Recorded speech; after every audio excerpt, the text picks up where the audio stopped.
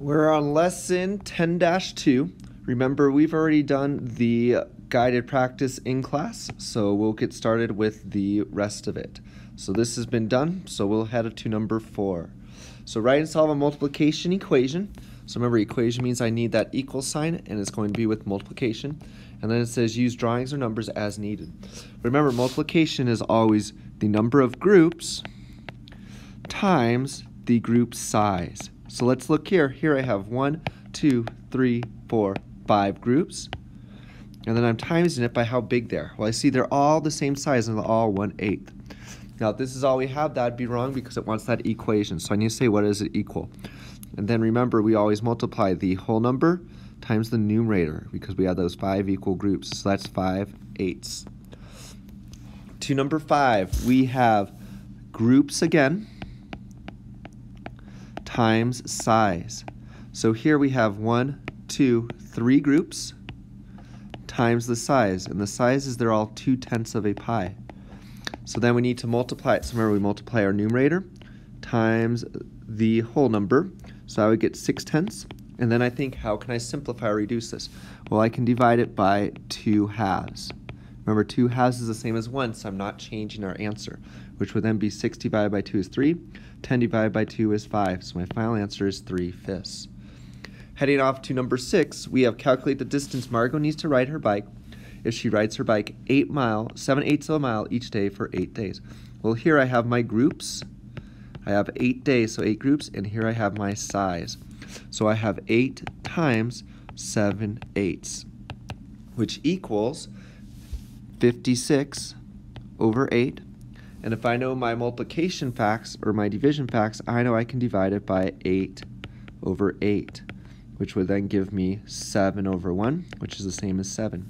A nice little trick here that we've talked about in classes, remember I can always write this whole number as a fraction, and then if I have the same number up top as I do in the bottom, or the same number I have in my numerator and denominator, they cancel out. So then I'm left with just 7 over 1, which would be that 7 that I ended up with for my answer. For number seven, we have calculate the distance Tom needs to ride his bike if he rides 5, 6, so again, that's my size, and he rides it for five days, so that's my group. So here I have 5 times 5, 6. Again, multiply the whole number times the numerator, so that would be 25, 6. And then I need to do my simplification or my renaming. So I have 25 pieces and I make it in groups of 6. So here I would do 25 divided by 6 and see what I have left over. That's going to be 4 groups. 6 times 4 is 24. Subtract and I have 1 left over. So I have 4 wholes and I have 1 piece left over. And how many pieces do I need to make a whole? Well, I need 6. So that's where my denominator comes in. So my final answer is 4 and 1 sixth. So that's how far Tom would ride. Heading on to the back. We have Kiana fills up a measuring cups with three fourths of a cup of juice three times to make punch. Write and solve a multiplication equation with a whole number, so remember that's without a fraction, and a fraction to show the total amount. Remember again, I have group times size. So I have three groups, one, two, three, times my size is their three fourths. So my answer is going to be 3 times 9. Remember, whole number times my numerator is 9 fourths. And now I have to rename that. So I'm going to do 9 divided by 4. Remember, I can always think of this fraction sign, or fraction bar, as a division sign. 4 goes into 9 two times. Multiply 4 times 2 and get 8. Have a leftover of 1. So that means I have two whole cups with one piece left over. And how many pieces do I need to make a cup? Well, that was my four. So my final answer is two and one fourth. For number nine, we have each lap around a track is three tenths of a kilometer. So that again sounds like that's going to be my size. Elliot walked around the track four times. So that's my groups. How far did he walk? Well, here they have a nice little picture for us. I'm going to do my multiplication of 4 times 3 tenths, which gives me 12 tenths. And now I'm going to check that against this piece up here. Well, let's see. Repeat addition. This would be 1, 2, 3, 4, 5, 6, 7, 8, 9, 10, 11, 12, which matches what I have here. But I need to rename it. So let's use instead our number line to solve this. Well, here I see I have one whole, and then I have one two tenths left. My final answer is one and two tenths, but wait, I noticed two and ten are even numbers, so I can divide that by two halves, which will give me one. Two divided by two is one. 10 divided by 2 is 5. So my absolute final answer is 1 and 1 fifth of a kilometer. Number 10, Margot bought four concert tickets for $38 each, one concert shirt for $56, and two buckets of popcorn for $6. How much did she spend? Well, these aren't fractions, but it's again multiplication because I have groups times size. But this is different because I have three different groups. So when I have 4 times 38, that's my concert tickets. Then I have one group, one shirt, times 56. And then I have two groups, two buckets of popcorn for $6. So what will that be? Well, this one's going to be 12. This will be 56. I can't do 38 times 4 in my head, so I'm going to go over here. I could also do 38 times, or 38 is about 40 times 4, and then take away those extra two groups that I did, which would be 160. Take away those two groups of 8, or two groups of 4, which would be 8, which is 152. But I'm going to check my mental math as well. 4 times 8 is 2. Regroup that 3. 4 times 3 is 12, plus 3 is 15, which gives me that same answer.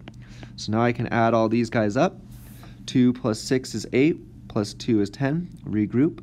1 plus 5 is 6, plus 5 is 11, plus 1 is 12. Regroup. 1 plus 1 is 2. So my final answer is I have spent at this concert $220. Number 11. Pan lasagna is cut into six equal pieces. The chef serves five pieces of the lasagna. Write and solve multiplication equations show how much a lasagna is served. So we have a pan of lasagna is cut into six, but he's only serving five of those pieces. So this I have a fraction. And remember, fractions are always parts over whole. So how many parts do I have? Well, I have five parts because he's serving those five pieces. But my lasagna was actually made out of six pieces. So that's how many I have for the whole. So my answer is going to be 5, 6.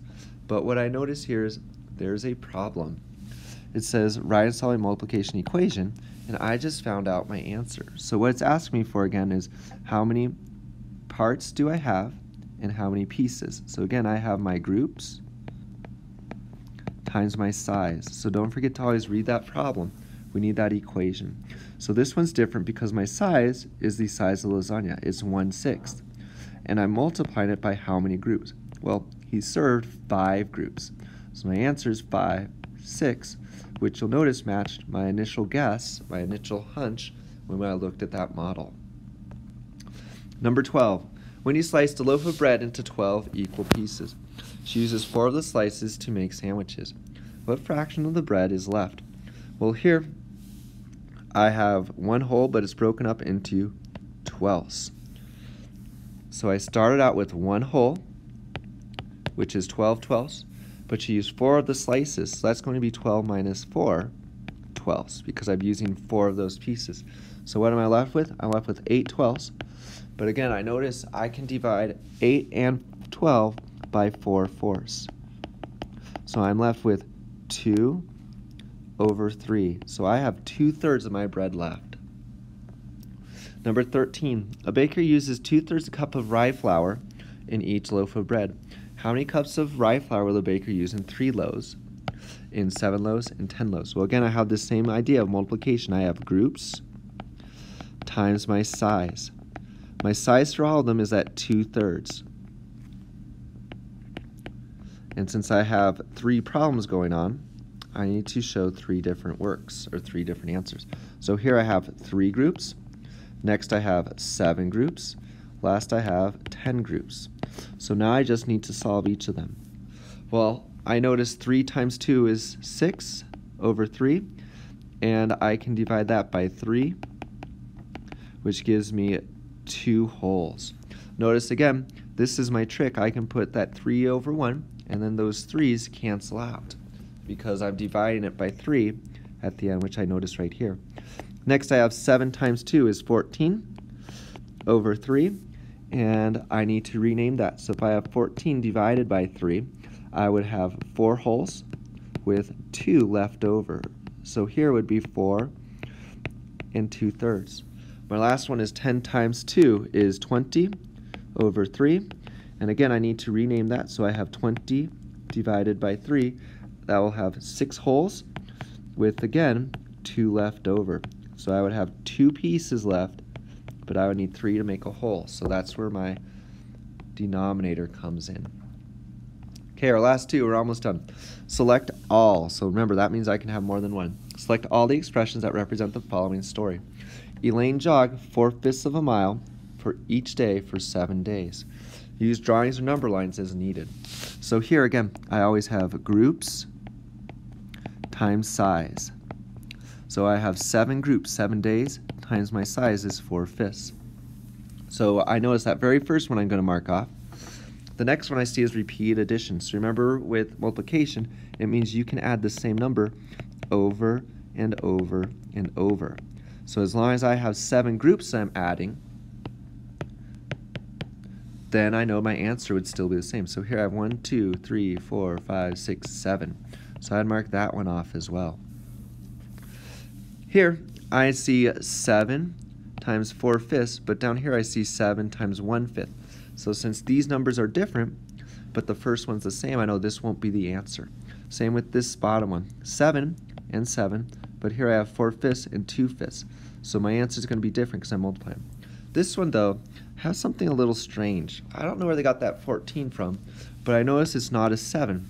So I need to check this one just to make sure. So I would have 14 times 2 is 28 over 5. And notice what I have up here. 7 times 4 is 28 over 5. So this one would be the correct answer as well. We're not quite sure why they wrote it as 14, but it does give me that same answer because they're both equivalent to 28 fifths. This next one, select all the expressions for number 15 that represent the following story. Freddie skated half a mile each day for six days. Again, this is multiplication because I have groups times size. So I have six groups times my size is a half. So let's see if we have that one anywhere. Oh look, it's number two right away. Again, we have multiplications, just repeat addition, so that would be 1 half plus 1 half, 6 times. So here I have one, two, three, four, five, six groups, so this one is correct as well. Now, what I'm going to do here, because I saw this one was tricky over here with that 14, I'm going to just check to see what 6 times a half actually is. 6 times 1 is 6, divided by 2 is 3. So I'm going to see if any of these other answers are equal to 3. Well, I know that 3 times 2 is 6, so it won't be this one. I know that 6 times, ooh, here remember I always have to do my multiplication first because of PEMDAS. Please excuse my dear Aunt Sally. So I have to do that multiplication before addition. 2 times 1 is 2, over 2 is equal to 1. So this whole thing in here equals to 1.